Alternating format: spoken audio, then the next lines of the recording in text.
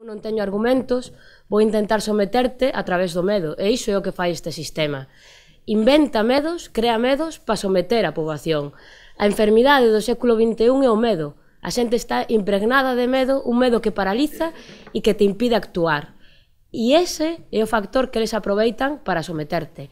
Persoas que teñen medo a non atopar traballo, persoas que teñen medo a perder o traballo, persoas que teñen medo a que non lles chega a jubilación, medo a que lle rebaixen o que cobra de jubilación, medo a que un día entres pola porta do hospital e non te, non te podan atender.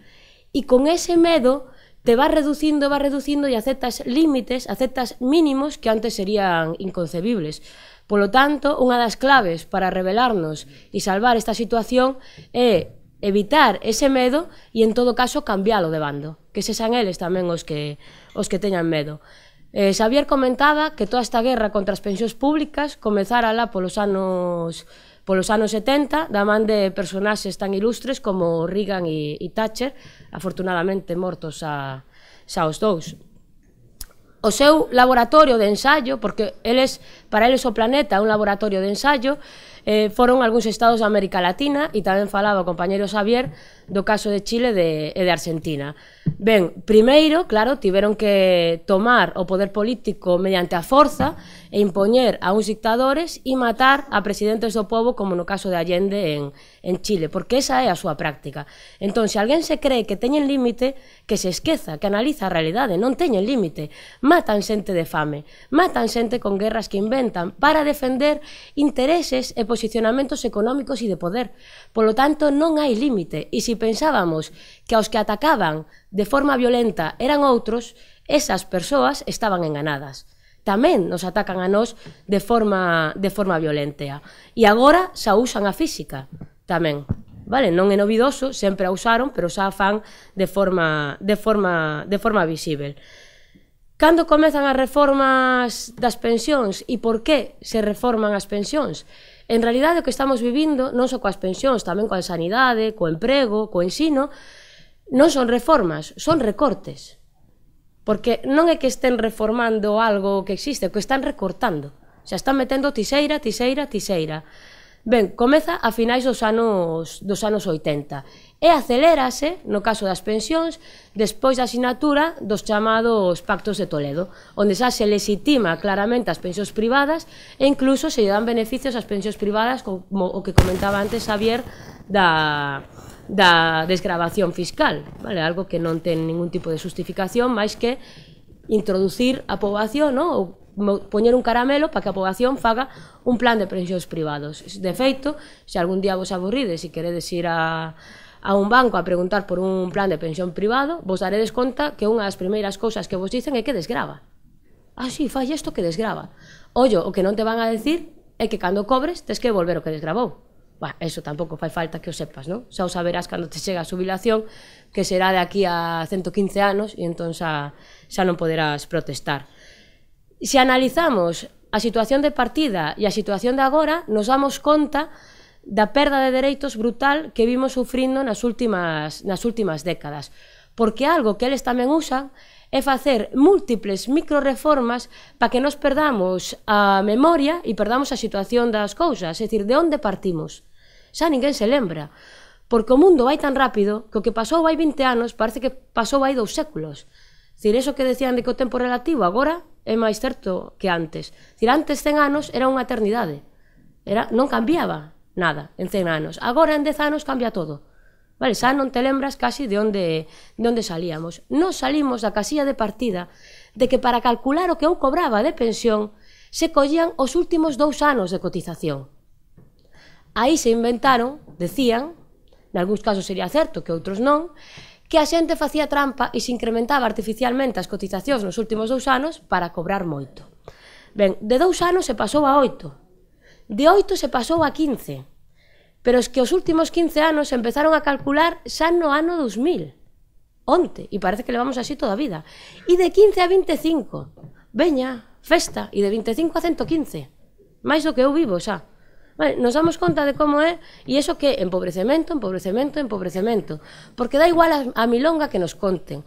Cando reforman as pensións, cando recortan en pensións, cando recortan en sanidade, cando recortan en ensino, cando recortan en prestación de, por desemprego, o único obxectivo é un, gastar menos recursos públicos niso para poder destinar esos recursos a cousas que eles consideran máis prioritarias, como que comentaba Xavier, a Igresa, que claro, te vende o paraíso eterno, no? que igual é mellor que, que vivir decentemente os últimos anos da túa vida, ou a monarquía, esa panda de parásitos ladróns, bueno, porque agora xa está, xa está demostrado, antes éramos os locos, non? O que, o que os decíamos, e ao parecer moita xente decía, non, monárquico non son, pero bueno, es que Juan Carlos mola, agora xa mola menos. Bueno, xa, xa algo tamén a, a ter en conta. O incremento das pensións. Inicialmente as pensións incrementábanse en función dos incrementos salariais. Porque antes, nesa, nesa etapa, que foi xa aparece hai, hai mil anos, os salarios crecían por riba do IPC. E como as pensións son salario, con bo criterio, se decía, non, non, as pensións teñen que subir a media do que suben os salarios. De aí pasou ao IPC e agora, bueno, a un esperpento que o que vos vou contar que xa non entende ninguén, agora xa non van a subir as pensión van a baixar cada ano e da igual o que o que digan, vale? Poden contar a milonga que queran, as pensións baixan e imos a, a miralo. E xa a última das reformas, a do 2011, é que pasamos de poder subilarnos aos 65 a ter que subilarte aos 67. Porque ao parecer é un problema que eu viva moito. Non lles chega con roubarnos, ademais queren matarnos antes de tempo. Lles molestamos. A duquesa de Alba non pasa nada, eh? Ela pode vivir todo o que queira, cada ano se estira un pouco máis a cara e, e xa está. Pero non é un problema. Lles molestamos físicamente. Fixadevos o odio de clase que eles acumulan. Non lle molesta só que eu poda ir á universidade, que eu teña un salario máis decente que hai 30 anos ou hai 40, senón que lles molesta o tempo que eu vivo. Ben, xa para que nos fagamos unha idea dos límites aos que, aos que eles chegan. Indo xa a reforma que, bueno, por suposto, isto que vos comentei son as reformas grandes, despois houbo microrecortes, vale, que se foron aplicando de unha pincelada aquí, unha pincelada lá, unha pincelada aí, cando te das conta, xa non te queda, xa non te queda casi nada. Da de agora, imos ir a, a proposta a proposta de agora, non? Que xa é como a estocada, a estocada final. Primeiro, como sempre, esta proposta está avalada por un estudio de supostos expertos que ao parecer teñen o don da neutralidade. Xa estos expertos o que les dicen é como a verdade eterna, no revelada, tamén subiron a montaña e dixeron a verdade e a esculpiron en pedra. Ben, e quenes son esos expertos? Porque vamos a ver se si son tan neutrais.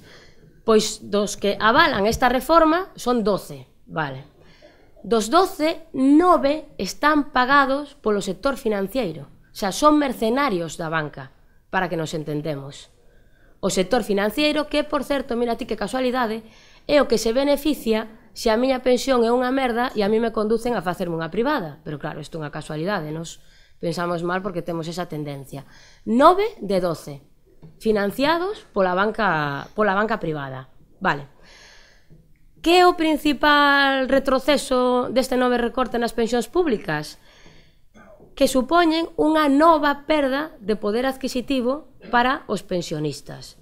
E digo nova, porque xa hai anos que os pensionistas levan perdendo poder adquisitivo. Porque desde que se aprobou o recorte no que se decía que os pensionistas se lles actualizaba a pensión en función do IPC, automáticamente desde ese ano os nosos pensionistas cada vez teñen menos capacidade de compra. O que reciben ao fin de mes lles dá para menos. Por qué? Porque aquí xa temos que analizado que o IPC é unha medida trampa. E os bens no que nos gastamos a nosa principal renta suben por riba do IPC. Os alimentos básicos, a vivenda, a electricidade, sempre suben por riba do IPC. Entón, se a mí me suben a pensión polo IPC, estou perdendo cartos. Xa non me está subindo, me están baixando. Vale, pero es que agora xa van máis alá. Inventáronse unha fórmula super complicada, por certo, non hai persoa que, que entenda, que dice que a miña pensión vaise actualizar en función da evolución da economía, da evolución do déficit público e da evolución dos gastos en Seguridade Social. Tendo en conta iso, a actualización da pensión vai ser como mínimo dun 0,25% e como máximo, claro, pero tamén poñen o máximo, eh? non vai a ser que aquí non sei, daqui a 100 anos a situación económica mude e se incrementen demasiado con esta fórmula das pensións. Como máximo é o IPC máis o 0,25. Vale? Non vai a ser que aquí se, se derrochen cartos. Este ano, que casualidade, se actualizan en función do mínimo, 0,25. E iso é o que vai pasar. Vale, les fan unha fórmula para que ao final o resultado de 0,25, o sea, quen fai quen fai a fórmula xa fai, eh, fai a trampa. E teñen a cara de decir que suben as pensións. Porque se pensan que a xente é idiota, porque eu senón non o entendo. Porque mira que hai que ter cara para decirlle a xente que van a subir as pensións cando o incremento é do 0,25.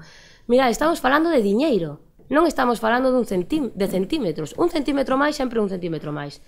Pero cando se fala de diñeiro, e eles que presumen de estudar en escolas privadas, pois deberían sabelo, porque o que fun a pública o sei, entón eles tamén deberían sabelo, cando se fala de diñeiro, non se ten en conta o valor eh, dese diñeiro, o sea, o valor nominal, sino o valor real.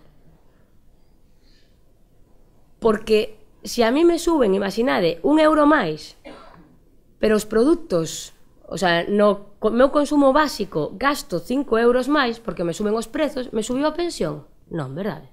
Iso é algo que sabe calqueira, eles tamén o saben. O que pasa é que tratan de enganar.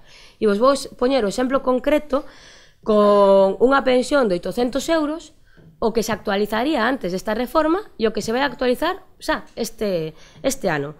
O 0,25% en 800 euros son 2 euros. 2 euros. Canto sube o imposto da luz?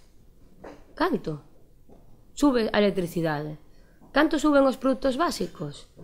Canto subiron as tasas universitarias? Entón, de que estamos falando? 2 euros. Nunha pensión de 1.000 euros, aquí sabe un pouco máis, bueno, un derroche máis, 2 euros e medio. Máis ao mes. E teñen a cara a decir que suben. Coa fórmula de antes, que xa empobrecía os pensionistas, o de 800 euros pasaría a cobrar 24 euros máis, que sigue sendo unha merda. Ben, O de mil, 30 euros máis. Bueno, un derroche, eh? un derroche. E a mí o botín dice, ollo, que chega diñeiro de todas partes. Claro, a él. A él. E de onde chega? De aquí, destos, dos que non lo, non lo sacan. Pero que ademais, o único objetivo deste recorte, se efectivamente o que xa comentou Xavier, que é empobrecer cada vez máis a clase traballadora e roubar cada vez máis salario para que eles podan eh, manter ou defender os seus privilexios e, e o seu beneficio. Eles din tamén, outras mentiras que din, é que gastase moito en pensións. É falso. É que é falso, porque para decir que gastas moito te tens que comparar con algo. No? Porque moito, pouco, sempre son comparativos. O sistema público de pensións do Estado español xa é dos máis baratos de toda a Unión Europea. De toda a Unión Europea, eh? non dos 15, non, non, de toda a Unión Europea. Mirade, de media, na Unión Europea se gasta en pensións cada os diferentes estados de media o 13% do produto interior bruto. Vale? Que é a referencia que se ten para ver o que, o que se gasta en pensións. O Estado español gasta o 10%. É dicir, que hai marxe para gastar máis. Italia gasta o 16%. Alemania o 12,8%, Francia, o 14,6%, Finlandia, o 12%. Entón, como teñen a cara de decir que é caro? Que o sistema de pensións públicos é caro, se é dos máis baratos. Pasa igual coa sanidade. O sistema público de sanidade do Estado español é dos máis baratos da Unión Europea e do mundo, e ademais do máis garantistas. Sabes cal é o sistema eh, sanitario máis caro do mundo? O Yankee e o que menos coberturas dá. Pero claro, isto non o vamos a contar porque estas verdades estropean a súa, a súa estrategia. A idade de subilación do Estado español tamén é das máis elevadas de toda a Europa.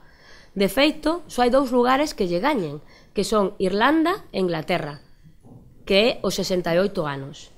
O resto, ou é 67, ou 65, ou menos. Vos vou poñer algún exemplo de lugares que se subilan antes para demostrar que, que é posible. En Eslovaquia, por exemplo, a idade de subilación son os 62 anos. En Estonia, 63 anos para homes, 61 anos para mulleres. Bolivia, que ao parecer está gobernada por un malo malísimo que é indígena e que non se quere disfrazar de occidental cando van a recepcións oficiais, fixo tamén nos últimos anos unha reforma das pensións. Pero mirade o que cambia cando un defende os intereses do povo ou cando un defende os intereses dos poderosos. O que fixo Evo Morales, que debe ser que por iso é tan malo, foi rebaixar a idade de subilación. O povo boliviano antes tiña que esperar aos 65 anos para subilarse e agora, grazas a esa reforma, se subilan os homes aos 58 e as mulleres aos 55. Ben. E en Bolivia, que, según venden, é unha economía menos poderosa que a do Estado español. Entón, cal é o problema? É un problema de recursos ou é un problema de vontade política? Está clara a resposta, verdade? É un problema de vontade política. Ti para quen gobernas? Para unha minoría poderosa e privilexiada ou para a maioría que é a clase traballadora? Ben, está claro, non, clarísimo, que en Europa levase décadas gobernando para esa minoría. Que pasa? Que antes a correlación de forzas para nós non era tan desfavorável. Entón, no que antes falaba Xavier, da batalla continua, no? Antes eh, decíamos, a loita continúa, agora case hai que cambiar o, o acento e decir a loita continua, porque isto é a loita continua. E antes a correlación de forzas non, non, non nos era tan desfavorável, agora sí. Por eso, o enemigo que sempre traballa para aumentar os seus privilexios está avanzando. E a única forma que teñen de avanzar é que non retrocedamos. Porque aquí os recursos son limitados non hai de onde sacar. Vale, xa está todo máis que conquistado e explotado. E o único que poden facer é sacándonos a nós empobrecéndonos a nós. E non teñen ningún tipo de límite. Outra das mentiras que contan e con isto xa, xa vou rematando E o da esperanza de vida, que tamén facía antes referencia, no? que, bueno, non sei, me, menudo problema, no? que cada vez iba, viva máis. Pero aí tamén minten, e minten polo seguinte. Os ministros, diferentes ministros de traballo, tanto do PSOE como do PP, porque estas reformas teñen o sello dos dous, tanto do PSOE como do PP. De feito, quen comezou foi, foi o PSOE, que comezou a, a privatizar e a recortar. Dicen eh, que como a esperanza de vida, vou poñer un dato calqueira, se incrementou en 4 anos, eso significa que vivimos 4 anos máis e, por tanto, teño que traballar 4 anos máis. Home, non sei, igual se vivo 4 anos máis, o que pode significar é que teño dereito a vivir dignamente 4 anos máis, non a que me exploten outros 4 anos, porque entón prefiro morrer antes. Eh, porque se a contrapartida vivir máis tempo vai ser que me exploten máis tempo, mira, é unha nota morrer antes. Vale? Pero bueno, dicen iso, pero es que iso é mentira, é unha falacia estadística, vale? Que se chama e eles que van ás escolas privadas, pois debe ser que colgaron a clase cando explicaron ese, ese capítulo. Vos vou poñer o exemplo. Vou no reducir o absurdo para que se entenda. Imaginadevos unha sociedade con só dous habitantes. Ben, unha é Marusa, que morre aos 60 anos, e outro é Anso, que morre con 10 anos. Cal é a esperanza media de vida nesa, nesa sociedade? 60 máis 10 entre 2. Vale, aí é, é simple. 35 anos, ben. Outra sociedade Tamén viven só dúas persoas, Manolo que morre aos 60 anos e María que morre aos 20 anos. Cal é a esperanza media de vida nesa sociedade? 60 máis 20 entre 2. Vale, 40 anos. Pois o que dice o ministro de Traballo é que como Manolo vive eh, cinco anos máis que Marusa, ten que traballar cinco anos máis. Vive cinco anos máis? Non, é mentira. É unha falacia. É certo que os nosos maiores dura máis tempo que antes. Pero non todo incremento da esperanza de vida vai a esas persoas, porque o principal factor que explica o incremento da esperanza de vida na sociedade occidental é a disminución da mortalidade infantil, grazas, por certo, a cobertura sanitaria. Eso si, sí, non vos preocupedes, que como cada vez temos menos, acabaremos morrendo antes. E é máis, incluso hai estudos que demostran quen vive máis tempo porque a esperanza de vida non é a mesma para todos os tipos de profesións. Porque a miña esperanza de vida vai en función de que? Da calidade desa vida, de como vivo. E está demostrado, e isto sí que son estudos que incluso eh, fixo públicos a BBC, que non creo que sexa unha canle sospeitosa de defender os intereses da clase traballadora, que as profesións manuais viven de media 10 anos menos que as profesións nos manuais, é dicir, cunha persoa que traballa na limpeza vive de media 10 anos menos que unha persoa que, por exemplo, é catedrático catedrática de universidade. E, e que os outros que non fan nada, pois xa, xa non te digo, vale? Cal é, cal é a diferenza? Entón, o que se fai dicindo que a xente ten que traballar máis tempo, o sea, o o persuízo é doble ou triple, porque obrigan, o sea, eles o que fan é obrigar a xente das profesións máis penosas a estar dous anos máis no mundo do traballo porque outros viven máis tempo, vale? De oficios que non teñen tanta dureza física, como pode ser un médico, un abogado, unha abogada, etcétera, etcétera. Ben, dito isto, xa, xa acabo, vou, vou, eu tampouco quero matar antes a, os dos outras profesións, eh? Non, que non se entenda por aí. Eh, que se debería facer? Como moi ben indicou Xavier, se hai que reformar as pensións é para fortalecelas. E se eles creen que o que se está facendo é gastar moito en pensións, que incrementen os ingresos que se dote de máis ingresos ás pensións a través de impostos ou a través de outras vías. E se se toca a idade de jubilación, teria que ser para disminuíla. Porque o que non ten sentido é que eu me vaya a subilar máis tarde, e eso si me subilo, que os meus avós, cando a miña capacidade de produción, grazas aos avances tecnolóxicos, é moitísimo maior hoxe en día que na época dos meus avós. Si produzco máis en menos tempo, o que teño é que ter dereito a tempo libre. Outra das cousas que non se entende é que eu teña que seguir traballando unha xornada de 8 horas, cando non máis. Si produzco máis en menos tempo, eso se debería traducir en mellor calidade de vida e máis tempo libre, porque nós, ollo, aínda que parezca raro, non vivimos para traballar. Vivimos para vivir. E eles o que queren é esclavizarnos a vivir para traballar. E queren, efectivamente, como iso Xavier, volver á escravitude. Porque na escravitude había pleno emprego. Claro, non había desemprego. E iso é o que eles queren volver. Entón, nada, xa remato, loita continua, loita de clase e, como decía Xavier, ou eles ou nós.